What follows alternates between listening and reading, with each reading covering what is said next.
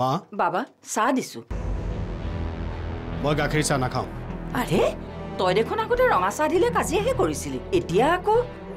আগতে খাইছিলোঁ বুলি এতিয়া খাব লাগিব বুলি কোনো মানে নাই নহয়। মই আজিকালি গাখীৰ চাহ নাখাওঁ। চাকৰিয়াল হিচাপে সুধিব নাপায় কিন্তু নৱ হিচাপে সুধো ক'ব পৰা যদি কোৱাচোন তোমালোকলৈ কোনে এনেকৈ নিয়মীয়াকৈ চিঠি লিখা হ'ল? পিতা পুত্ৰ আজিৰ খণ্ডটি উপভোগ কৰক নিশা আঠ বজাত। আপোনাৰ একমাত্ৰ প্ৰিয় চেনেল ৰঙত।